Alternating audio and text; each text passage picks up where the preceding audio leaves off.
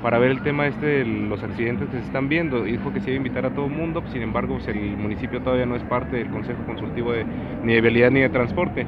Eh, ¿Asistiría o cuál sería? Porque Claro, están... mira, necesitamos que nos inviten, necesitamos conocer cuáles son los proyectos de tránsito en ingeniería vial en- para el municipio de Chihuahua, porque bueno, es una atribución que tiene el Estado y que, pero que necesitamos eh, participar el municipio porque al final de cuentas todo lo que sucede en el municipio pues le afecta a los chihuahuenses y a nosotros nos preocupa lo que le afecta a los chihuahuenses. ¿no?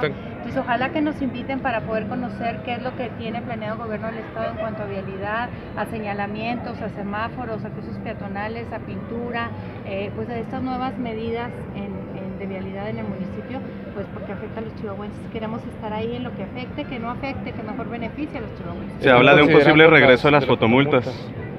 ¿Qué opinión le merece esto? Bueno, pues yo creo que es muy discutible. Yo creo que eh, tenemos que generar la educación vial. Hay que, hay que decirle a los chihuahuenses cuáles son eh, pues las consecuencias de estar usando un celular, de pasarse un rojo, de venir a exceso de velocidad, que ya lo hemos visto en los últimos accidentes.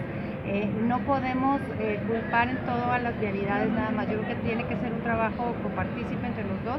Y bueno, pues si las fotomultas están consideradas como eh, una mejor política pública, pues hay que revisarlo. ¿no? ¿Usted lo- Otra vez, usted lo aprobaría? El objetivo es la coparticipación entre el ciudadano y la autoridad para que no tengamos esos Se realizará un